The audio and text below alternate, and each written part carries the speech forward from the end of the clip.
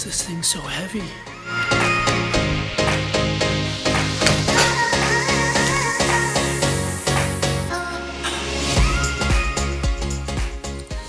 All of that DSLR camera gear has actually been sitting in storage for about a year and a half now because I've switched from DSLRs to this, the Sony RX100. Hit it! That's what I'm talking about. Wait! Okay, now from the beginning. Hit it, boy. I'm packing up to go to Europe again, and this time it's more of a health expedition.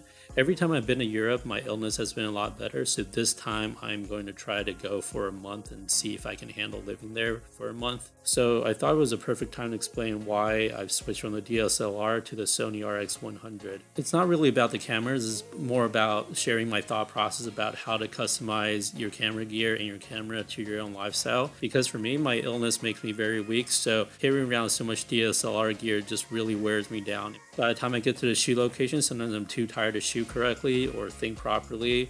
And even just for people who are traveling, if you're walking around town and sightseeing or hiking up hills, if you're carrying around camera gear that weighs almost as much as you do, it's just gonna wear you out and it's gonna kind of take the fun out of traveling. I guess this isn't a very smart vlog because usually people talk about new gear and try to like get you to buy stuff so that they can make commissions off of you buying camera gear and cameras through the link in their uh, YouTube description. This is kind of the reverse of that, but I just wanted all of you to start thinking creatively about how to customize your gear so that everything's optimized and you won't be carrying around extra stuff that you don't need and just spend more and more money on stuff that just end up collecting dust. So this is kind of how I transitioned from the Canon 7D to the Sony RX100 first of all, I needed a camera that could achieve similar results to a DSLR so I can still shoot production stuff if I needed to or if I'm running and gunning and I have to switch back to the Canon 7D. It's not really about the equipment, it's more about the lighting, then the composition, and the story you're trying to tell. So if you got all of that, the camera stuff doesn't matter as much and if you set it up correctly people can't really tell especially if you're shooting for the digital age people are watching on their laptops and if they're watching on their phones they're not really going to see the difference between a small sensor like this and a larger sensor like this. So when you're building your gear you're building it around the camera and DSLRs are just so heavy and because the camera is heavy all the gear around it is heavy you just need stronger and heavier tripods and lenses to attach onto a heavy camera like a DSLR. And so everything just compounds, it gets heavier and heavier. Like each gear you buy is gonna just gonna be so heavy. Even the batteries are heavy. And like Chase Jarvis says, the best camera is the one you have on you. So if you're traveling to places and the camera is just too heavy to carry with you, like for me, or if you're going through customs or if you just forget to bring it to a party and then you, you, see an amazing moment there and you just don't have your super nice DSLR camera and lenses to capture that moment or if you just have to take out all this bulky stuff and set it up just so you can get the image or the video then you're to miss the moment. So the Sony RX100 or some of these smaller mirrorless cameras you can fit inside your backpack or like the Sony RX100 you can fit inside your pocket. So next let's talk about lenses. On this Canon 7D I have a 24 to 70 millimeter zoom lens so I can do wide shots, I can zoom in for nicer portrait shots and it's a f2.8 so that means I can open up the aperture pretty wide and it can shoot better in low light. However, uh, for the Sony RX100, this one is also a 24 to 70 millimeter lens. So I can also zoom with this one. And this one uh, has a maximum aperture of f1.8, so it can shoot even better in low light. It can let in even more light. So whatever I can shoot on the DSLR, I can shoot on the Sony.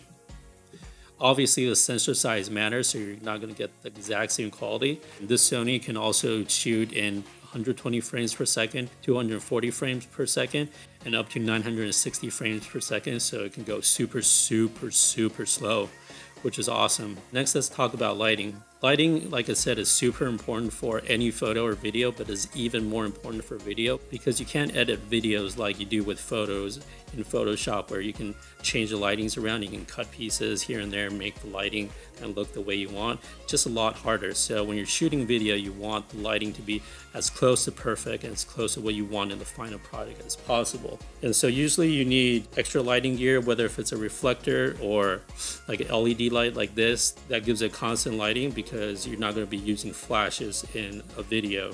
So that's extra gear. And instead for the Sony RX100, I'm using this little guy as a Lume Cube, this tiny little thing that fits in your pocket. It does flash and it does constant lighting. So this constant lighting is for video. It has 10 levels of brightness and it fits inside your pocket. And it also comes with these amazing uh, color filters so you can make the light yellow or bluish and attaches with a magnet. Next, I was thinking about stability. Usually you want steady shots so people don't get dizzy or the footage doesn't look horrible. With a heavier camera like a DSLR, you need a very strong and heavy tripod. I was using this guy, which is the Manfrotto 055, and this thing is pretty, pretty heavy.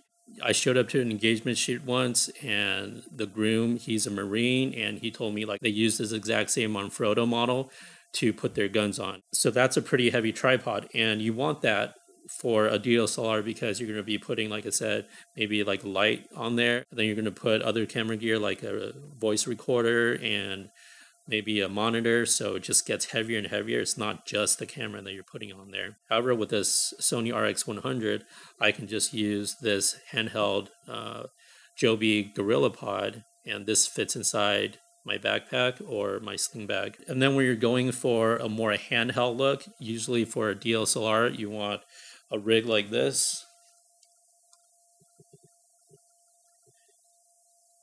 You stabilize on your shoulder so there's some movement, but it's steady enough that the footage is watchable. So I learned with this smaller camera, usually the disadvantage is it's lighter, and the lighter the camera, the less stable it is. It's easier for your hand to twitch and just move the camera around. But if you use this method of uh, using the neck strap and to stabilize it and your arms against your body, you can do a pretty good job of trying to mimic the effects of the shoulder rig and try to and get similar footage. Again, it's not going to be exactly the same, but it's going to be similar enough that people can't really tell a difference unless they're seeing the footage side by side. Next, let's talk about movement. I love movement in shots. That's kind of the reason for video instead of photos, is to get, kind of get some movements and use that to generate emotion and tell the story. So with DSLRs, a lot of times you'll see people setting up with a slider You'll slide this guy back and forth with the camera on it, and it'll just do nice, smooth, and steady shots moving sideways or back and forth like this. Or you would go with a steady cam, and steady cams, I used to have one, I used it a lot, but it's just so heavy, it's not really practical. With the camera like this, that's already about seven pounds, and you add on maybe like another four pounds for the steady cam itself, you're carrying around 10 or 11 pounds, all goes to this wrist on the hand where you're carrying the steady cam. So you have to get your steady cam shots really fast or it's going to wear you out. To replace the slider and the steady cam, I've gone with a, a Zhiyun gimbal. This is an old uh, version 1, but it still works great for me. I can attach the Sony RX100 or even this large DSLR on it and it will barely handle it, but it will handle it. So this gimbal fits inside my backpack.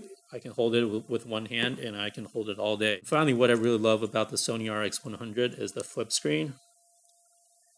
And it can flip to different degrees. So if you're shooting even at lower angles, you'll be able to see what's in frame and what's out of frame. And uh, I know there are some Canons that have the flip screen, so those would be better. But if you don't have a flip screen DSLR, then you're going to need another monitor to go along with your gear, and it's just extra weight and it's bulky and it's extra stuff you have to charge up every time. So the amount of gear and amount of weight you have just compounds for each little thing that you need. So yeah, this is what my gear looks like now. It's just this guy and a bendy tripod and uh, Lume Cube and maybe maybe the gimbal if I'm shooting some movement stuff and that's it.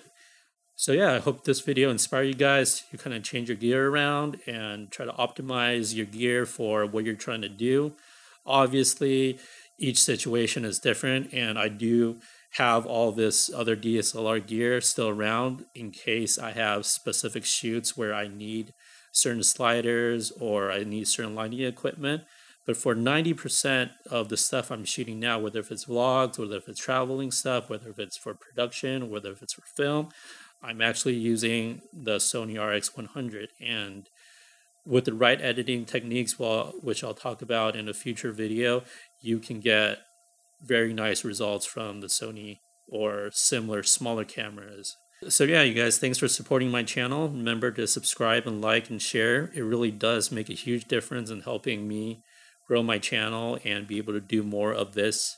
If you guys have any more ideas you want me to talk about, hit me up on Instagram at jeffreylin underscore and follow me on my Europe trip. I would love to meet up with you guys if some of you guys are over there. Oh, and by the way, this whole episode is filmed on my iPhone because obviously I have my Sony RX100 right here and have my Canon 7D right here, so I need another camera. So this video looks good. I'll do a tutorial about how I did this whole setup